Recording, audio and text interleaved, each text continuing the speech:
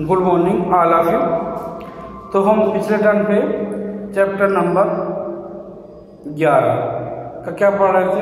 एस्क्रीटरी system इन animals ठीक है excretion इन animals अब आज है चैप्टर नंबर 11 का topic excretory system in humans यानी जो मनुष्य हैं या आदमी हैं, उनमें एस्क्रीटरी सिस्टम कैसे होता मतलब उत्सर्जन कैसे होता है?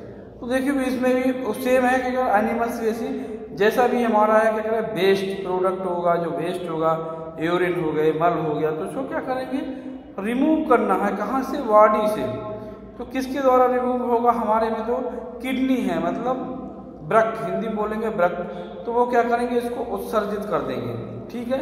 यानी हमारे शरीर से यूरिन क्या होगा? बाहर चला जाएगा, जिससे हमें वो हार्मफुल यानी टॉक्सिक जो पदार्थ है, वो हमारे शरीर को हार्मफुल यानी नुकसान नहीं पहुँचा पाएँगे। तो क्या बोलते हैं the waste which present in the blood has to be the remove from the body जो बेस्ट है तो वो ब्लड हमारा क्या करेगा, उसको रिमूव कर देगा। ये mechanism to filter the blood capillary in the kidney और हमारे जो क्या किडनी का जो मैकेनिज्म है, यानी कार्य विधि है तो उसको क्या करेगा फ़िल्टर कर देगा हमारे ब्लड में कितनी कार्बन डाइऑक्साइड है, जो हम क्या है कि सांस ले रहे हैं। तो उसमें क्या ऑक्सीजन ले रहे हैं कार्बन डाइऑक्साइड बाहर छोड़ रहे हैं। तो उसको फ़िल्टर करना है, कोई भी जहरीला या टॉक्सिक पदार्थ है तो उसको भी शरीर से क्या करना है, बाहर निकालना है। तो है तो लिखते हैं इसको, देखते हैं the waste which is present in the blood हमारा बेस्ट कहाँ प्रेजेंट है? ब्लड में प्रेजेंट है। To be remove up from the body और उसे कहाँ? बॉडी से रिमूव करना है। तो मैं इसके लिए क्या विधि लगेगी? इसकी किडनी की। तो देखिए the waste which W S the waste which is present कहाँ present है which is present in the blood which is present in the blood in the blood has to be removed from the body has to be removed from the body. The mechanism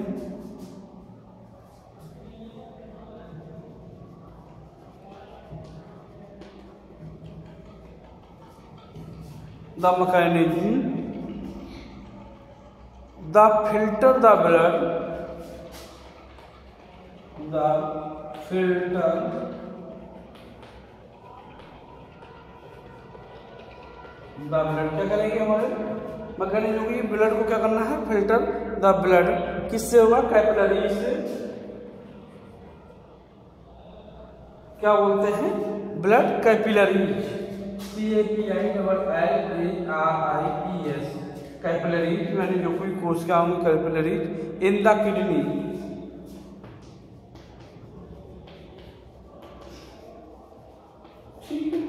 तो blood को क्या करेंगे हमारी kidney जो होगी, वो filter कर देंगी। इतना हो गया। When the blood reach the two kidneys और ब्लड कहाँ पहुँच जाएगा? टू किडनी में पहुँच जाएगा।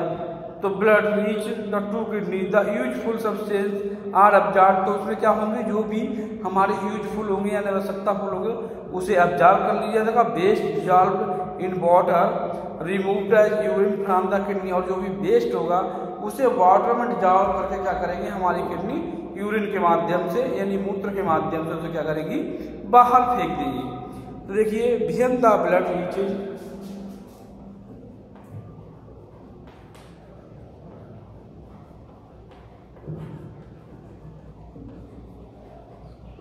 when the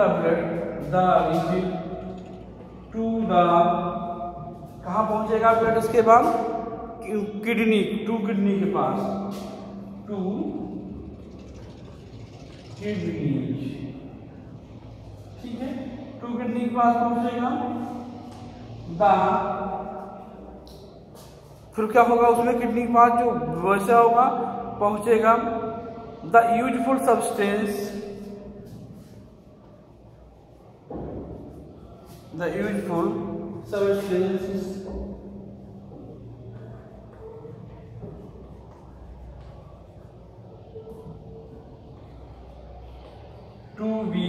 absorbed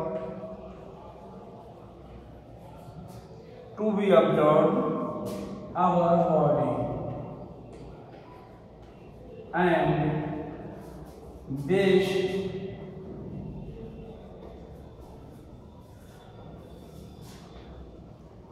product to dissolve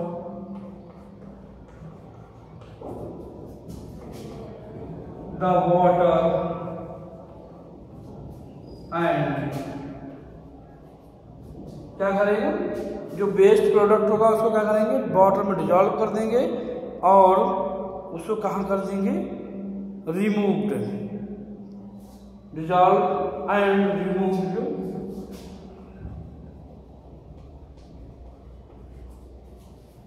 removed किसके द्वारा रिमूव हो जाएगा?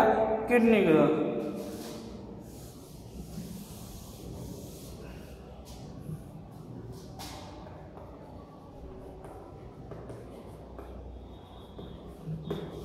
ठीक है तो remove kidney remove the kidney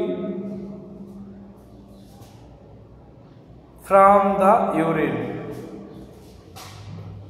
kidney from urine ठीक है यूरिन यानी मूत्र के रूप में हमारे शरीर से बाहर निकल जाएगा। ये हो गया। आज के लिए इतना कभी धन्यवाद। अगले मुफ़्त